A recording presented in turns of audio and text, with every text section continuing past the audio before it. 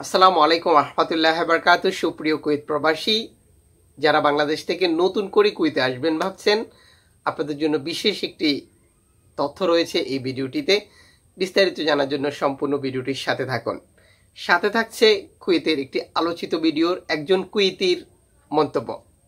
চলুন শুরু করা যাক।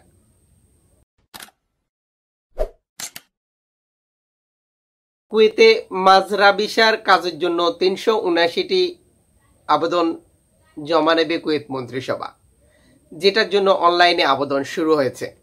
আর এটাকে পুঁজি করেই আমাদের বিপুল সংখ্যক দালাল বাইরা যারা আদম ব্যাপারী বা বিষা বাণিজ্য করে, কুয়েতে এবং বাংলাদেশে পাঁচ থেকে সাত লক্ষ টাকা দাবি করে রেখেছে অলরেডি তিনশো উনআশিটি মাত্র ভিসা বের হবে এই আবেদনে।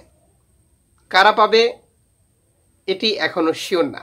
এখানে বাংলাদেশিরা থাকতে পারে, ইন্ডিয়ান থাকতে পারে, নেপাল থাকতে পারে। সব মিলিয়ে মাঝরাতে যে শ্রমিক সংকট চলছে, সেটা থেকে বেরিয়ে আসার জন্য কুয়েত মন্ত্রিসভার বিশেষ অনুমোদনে এই বিষয়গুলো বের হবে। এটা হচ্ছে কুয়েতের শ্রম মন্ত্রণালয়ের সর্বশেষ আপডেট থেকে নিশ্চিত হওয়া গেছে। এখন এই আবেদনের পরিপ্রেক্ষিতে কতটি বিষয় বের হবে, সেটা বড় কথা না। বড় কথা হচ্ছে অলরেডি অনেকেই টাকা জমা দিয়ে ফেলেছে, অনেক আদম ব্যাপারীর কাছে।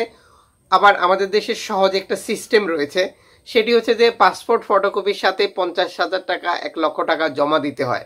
না হলে আবার এটা কাজ করা সম্ভব হয় না। এই টাকা দেওয়ার পরে পাসপোর্ট ফটোকপি থেকে যায় আবার বালিশের তলায়। কারোর বা দেশে বাড়ির আলমারিতে শুকেছে সব মিলিয়ে যারা কুইতে নতুন করে আসবেন ভাবছেন যারা কুয়েতে আসার জন্য অপেক্ষায় রয়েছেন, আপনারা সচেতন এবং সতর্ক থাকবেন এই ধরনের প্রতারণা থেকে। কতটি ভিসা বের হচ্ছে, কতজন পাবে, সব মিলিয়ে সাধারণ স্বাভাবিকভাবে এখনও কুয়েতের ভিসা চালু হয়নি। কোভিড নাইন্টিন পরিস্থিতিতে কুয়েত থেকে ছেড়ে গেছে বিভিন্ন দেশের প্রবাসীরা। এতে করে কুয়েতের একটি শ্রমিক সংকট চলছে। আর এই শ্রমিক সংকটের কারণে কুয়েতের মাজরার মালিকরা বারবার আবেদন করে আসছে তাদের শ্রমিক সংকট। আর এই শ্রমিক সংকটের কারণে তারা মাঝরাতে শাকসবজি ফলনের সমস্যা হচ্ছে বা প্যাকিং এর সমস্যা হচ্ছে। শ্রমিক সংকট হলে যেটা হয়, যেটার জন্য বিশেষ কমিটির সুপারিশে কিছু সংখ্যক বিষয় বের হবে। তবে ক্লিয়ার না, বাংলাদেশের কতটি বিষা এই কোটাতে বের হবে।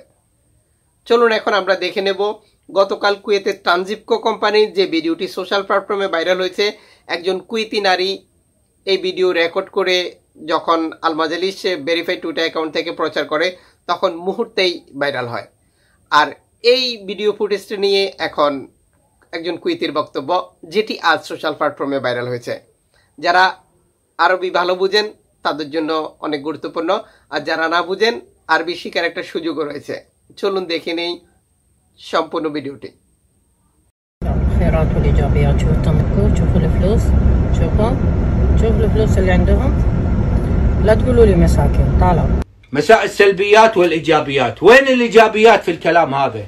وين الإيجابيات في التصوير؟ وين الإيجابيات في الموضوع اللي ما له طب؟ وصلنا للمرحله عيوننا ضيجة على الفقارة المساكين هذولي. يا بنت الناس الرزق بيد الله سبحانه مو بيدك. يا بنت الناس الناس إذا عطت تعطي لوجه الله تعالى مو عشانك. يا بنت الناس مالك حق تقولين لا تعطونا. يا بنت الناس الرجال ما اخذها بالقوة الناس عطته بحسن نية. يا بنت الناس خليتي السراق والحرامية واللي ين- ينهبون واللي يقولون هل من مزيد ويسحبون في خلق الله ويمصون دم خلق الله وطالعين المساكين الفقراء. اشتغلي شغلتهم. اقعدي في الشمس مثلهم بعدين حسي فيهم. حلال زلال له. يمكن معاشه. الله يزيده ويرزقه. واللهم لا حسد. سكت الكلام.